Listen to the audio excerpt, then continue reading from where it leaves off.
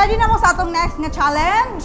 Yes! Alright, so kani siya nga challenge is, kiba mo asa mo murampa? So, dito mo murampa sa Dan. So, kani, matest ang inyong confidence.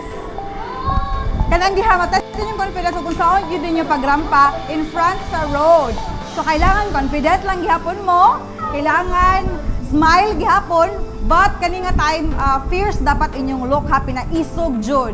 Okay? okay lang na, pero fierce gina tong ato ang kuan karon, ato ang goal karon. So irampan ninyo inyong mga gown dito sa dawas. So ayaw lang mugmay na ng mga mangagi nga mga jeep, mga tao. Confident lang gihapon ha. So challenge ni siya guys. So ready na mo? Okay, let's have to go.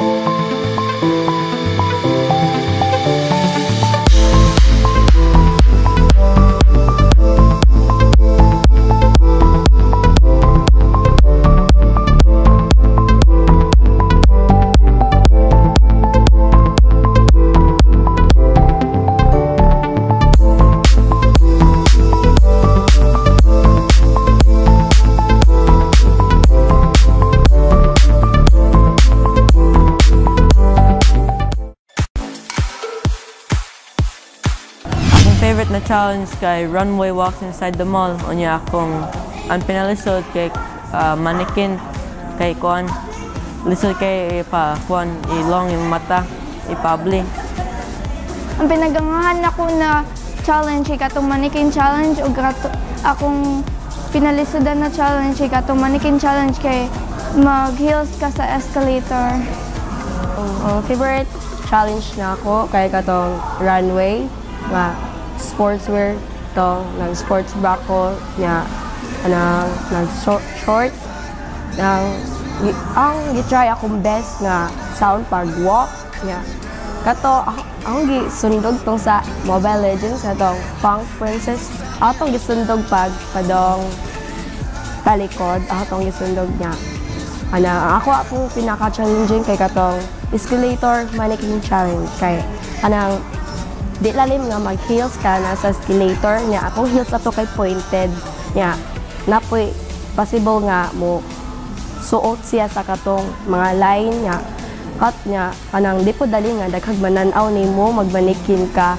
Dapat focus ra ka sa camera. Das kanang dini baliwalaon na nimo mga tao nga nanaw nimo niya.